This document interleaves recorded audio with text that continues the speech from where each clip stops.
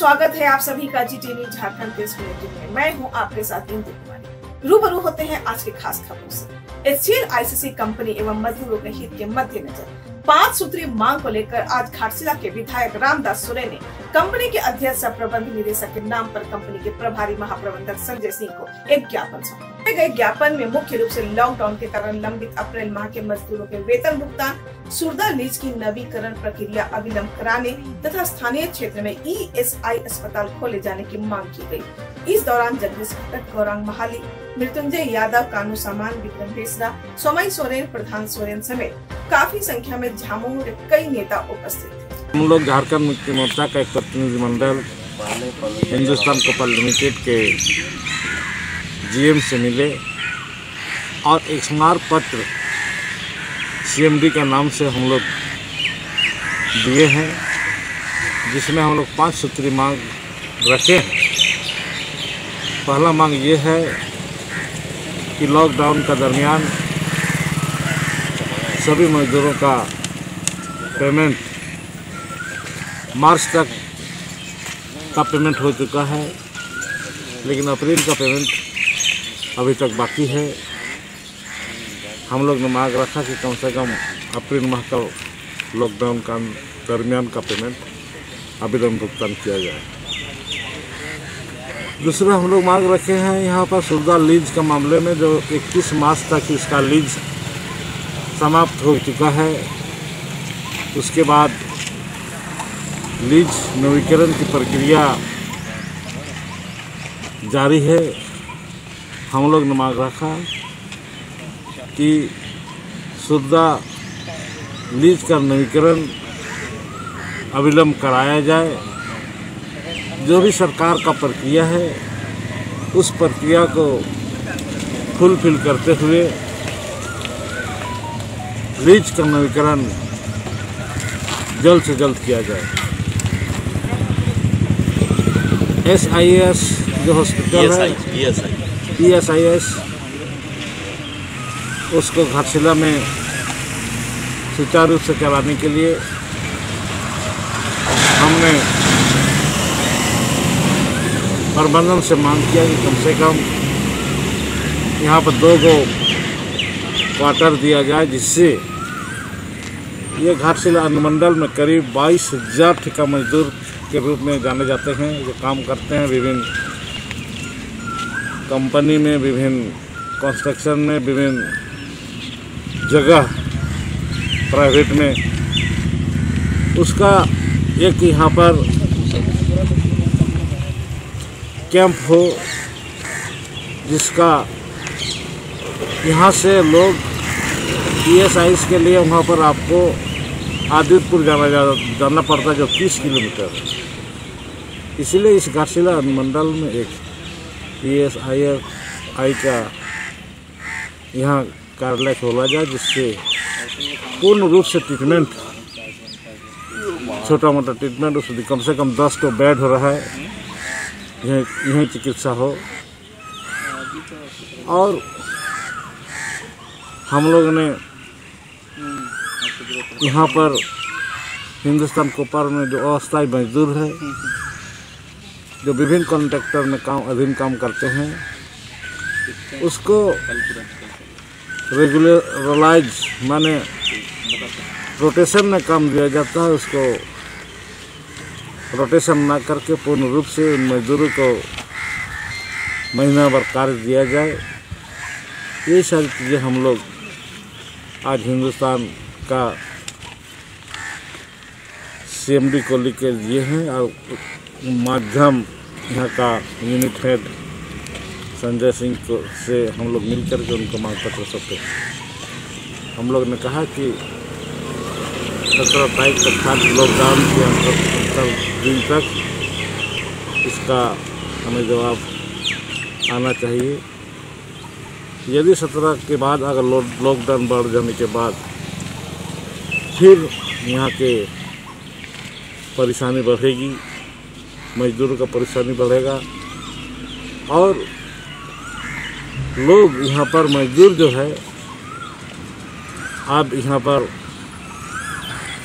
काम तलाशने के लिए प्रयास कर रहे हैं, जिससे हमें यहाँ पर निश्चित रूप से सभी मजदूरों को हम लोग रोज़गार देने के लिए हमारी सरकार एवं सर के सरकार ने उनका ये प्रयास है। जो प्रवासी मजदूर यहाँ पर आ रहे हैं, उसको रोज़गार देने के लिए हमारी सरकार हेमंत सोरेन का प्रयास जारी है। पर सुविधा माइंस का बात है सुविधा माइंस का सबको मालूम है इक्कीस मार्च तक ही इसका लीज है। और इक्कीस मार्च तक उन्होंने पेमेंट भी किया है। लेकिन बात यह रहा है इक्कीस मार्च के बाद लॉकडाउन के दरमियान जो अभी अभी अप्रैल माह का वितरण की बात हो रहा है इसी के लिए हम लोग आज लिख के दिए हैं कि लॉकडाउन ये केंद्र सरकार का निर्देश से लॉकडाउन हुआ है। हिंदुस्तान के ऊपर लोग केंद्र केंद्र सरकार अधीन ही है इसलिए उसका पालन होना चाहिए और मजदूर का पेमेंट मिलना चाहिए। जब तक ये पानी प्रबंधन चुप बैठी। सारी चीज़ों पर हम लोग बातचीत किए हैं और प्रबंधन ने कहा कि हमको जिला प्रशासन उपायुक्त से भी हमारा चिट्ठी आया है कि कोविड नाइन्टीन पर आप सहायता करें। केंद्र सरकार से भी चिट्ठी आई है, आप सहायता करें। और हम लोग किसी न किसी रूप से राज्य सरकार को भी सहायता कर रहे हैं केंद्र सरकार को भी सहायता कर रहे हैं। वैश्विक कोरोना महामारी एवं लॉकडाउन जैसी परिस्थिति होते हुए भी घाटशिला के संत नंदलाल स्मृति विद्या मंदिर में आज पैंतीसवा वार्षिक उत्सव बड़े उत्साह एवं उमंग के साथ ऑनलाइन मनाया गया।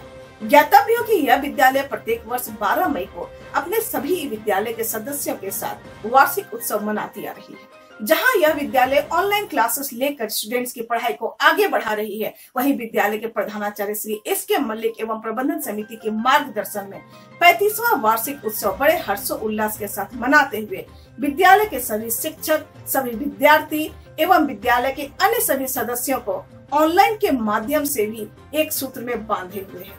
पैंतीसवा वार्षिक उत्सव के अंतर्गत दो दिन के इस कार्यक्रम में 11 मई को ऑनलाइन भजन संध्या का आयोजन किया गया तथा विद्यालय के सभी शिक्षकगण, प्रबंध समिति एवं ऑफ़िस स्टाफ इसमें शामिल थे। दूसरे दिन 12 मई के सांस्कृतिक कार्यक्रम का संचालन छात्रा प्रिया शर्मा एवं छात्र सुभ्रांश चंद्र द्वारा करते हुए इसकी शुरुआत गुरु वंदना एवं सरस्वती वंदना से की गई।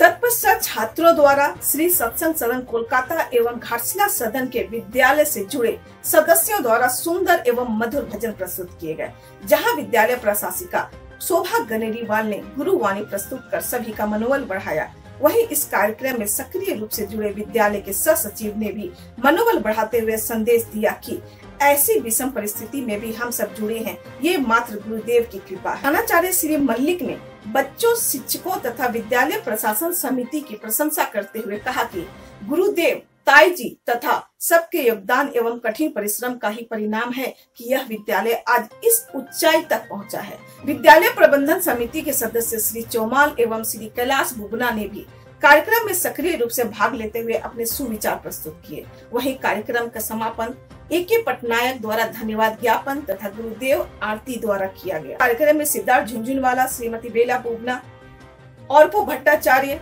सत्यरंजन दत्ता, डॉक्टर प्रसिंजित कर्मकार सुमिता सनातनी, नीलिमा सरकार का विशेष योगदान रहा। अवसर पर विद्यालय के समस्त शिक्षकगण एवं कक्षा बारहवीं के छात्र छात्राएँ भी उपस्थित थे। कोई कहे ना। आया है दर से तेरे खाई छाया एक तू ही जहाँ में है छाया। में भी डरे नहीं हटे नहीं। और सबसे इम्पोर्टेंट चीज़ है कि आज भी स्कूल में बड़े बड़े स्कूलों की खबर है मेरे पास वो भी घबरा रहे हैं कि कैसे करना है, क्या करना है और जिस तरीके से हम चला रहे हैं, ये काबिल तारीफ़ है। आज के इस पावन दिवस पर मैं आप सबको बहुत बधाई देता हूँ। शोभा मैडम, आप हैं, हमें आशीर्वाद देने के लिए। देवरा सर हैं, कमाल सर हैं। but again we have made that is the blessing of gurudev. I thank all the participants of this particular program my special thanks to almighty god धरत सदा अमृत भर कीजे आरती तो ही रू भाजपा नेता सह घाटशिला विधानसभा के पूर्व भाजपा प्रत्याशी लखन माडी द्वारा घाटशिला विधानसभा के जादूगोड़ा अंतर्गत कूला मारा पंचायत कुंडा कोचा में जरूरतमंदों के बीच मोदी आहार एवं मास्क का वितरण किया गया। मौके पर मुख्य रूप से मंडल अध्यक्ष विनोद सिंह विक्रम सिंह दिलीप कुमार सुपाई कुमार आदि उपस्थित थे। इधर आओ।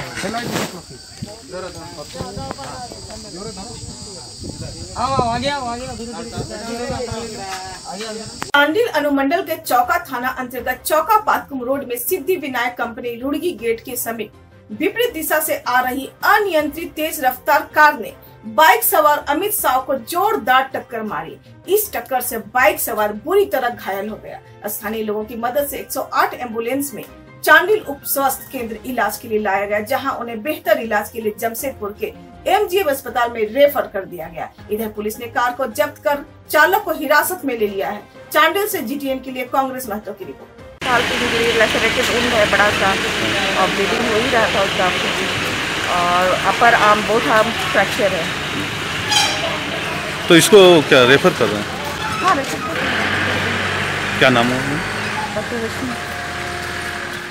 पूर्वी सिंहभूम के चाकुलिया में कोरोना मरीज़ के मिलने से सरायकेला के स्वास्थ्य विभाग में हड़कंप मच गया है। ज़िले के सभी क्वारंटाइन सेंटर की विधि व्यवस्था ठीक की जा रही है। ज़िले में लगातार मजदूरों का आना जाना हो रहा है, जिस कारण ज़िले के स्वास्थ्य विभाग सचेत है। वहीं चाकुलिया में दो कोरोना मरीज़ मिलने से ज़िले में संशय की स्थिति बनी हुई है। ज़िले में कुल 12 क्वारंटाइन सेंटर में चौवन मरीज़ क्वारंटाइन किए गए हैं। क्वारंटाइन पर रखे गए कुल इकसठ मरीजों के सैंपल जाँच के लिए भेजा गया है। वहीं चांडिल अनुमंडल के क्वारंटाइन सेंटर की विधि व्यवस्था का जायजा लिया गया। इस सेंटर में चौका के दंपति जो इलाज को लेकर वेलूर से वापस आए थे, उन्हें भी जिला स्वास्थ्य विभाग चौदह दिनों के क्वारंटाइन पर रखा है। चांडिल से संवाददाता कांग्रेस महतो की रिपोर्ट। ग्यारह बजे आया सरायकला सामुदायिक भवन से। चौका के रहने वाले हैं और एक का नाम है साधन प्रामाणिक और एक का नाम है पुतुल प्रामाणिक दोनों पति पत्नी हैं। लोग ट्रीटमेंट के लिए गया था वेलोर। और ट्रीटमेंट के उपरांत वो लोग अपना वहाँ से किसी तरह सरायकला पहुँचे सरायकला से फिर यहाँ शिफ्ट किया गया कल ग्यारह बजे।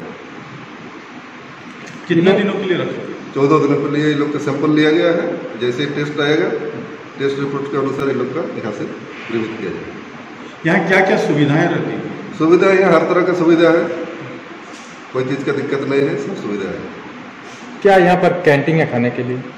कैंटीन का भी व्यवस्था है। मरीज़ को भी मरीज़ के लिए भी है और यहाँ जो कर्मी है उन लोग के लिए भी व्यवस्था है।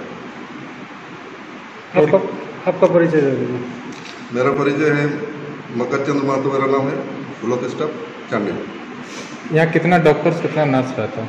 यहाँ डॉक्टर्स दो हैं और एक नर्स है और दो दो और हॉस्पिटल से दो स्टाफ और। ठीक है। जमशेदपुर के कदमा थाना अंतर्गत शास्त्री नगर में ज़मीन विवाद को लेकर मारपीट का मामला सामने आया है।